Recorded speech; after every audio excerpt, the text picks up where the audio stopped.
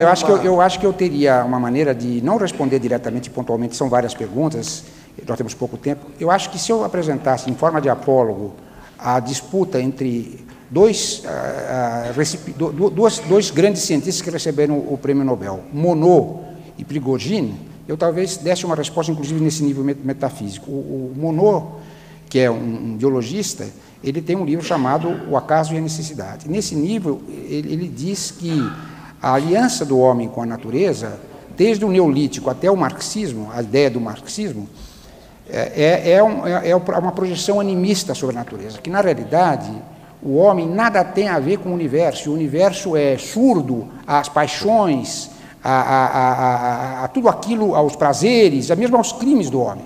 O homem tem que se conformar que ele seja, que ele é um cigano cósmico que não tem na natureza nenhuma contrapartida.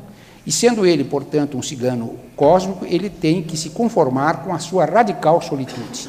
E nega essa nova, essa, essa, ele nega a velha aliança, ou seja, a aliança que eh, se quis, desde a, da, da, das religiões até as ideologias, se quis fazer ah, entre o homem e a natureza, dizendo que tudo isso são projeções animísticas. O homem é um cigano errando no cosmos, é, é, isolado e que tem que conformar-se com a sua solitude e fazer da sua razão a medida da sua ética, ou da sua, do seu conhecimento científico a medida da sua ética. Vem o Prigogine e responde diretamente ao Monod num livro que se chama exatamente A Nova Aliança, que está inclusive editado em português pela Universidade de Brasília.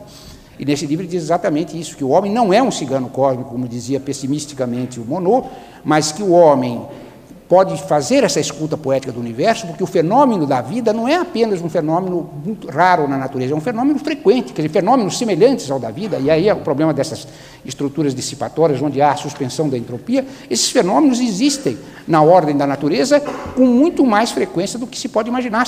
Então, o homem não é um homem solitário, o homem é um participante, ele tem uma. uma ele, é, é, a, a, posição do homem é participatória. Né? Ele, ele, ele, ele, ele não está isolado na natureza, mas os processos que levam a, a, a esse extremo processo que é a vida humana, organizada dessa, fação, dessa maneira, tem em comum ah, com outros tantos processos que são também na natureza de extrema frequência. Então, ele nega essa tese e acha, portanto, que não se trata simplesmente de uma projeção animística, mas realmente de uma participação entre homem e natureza.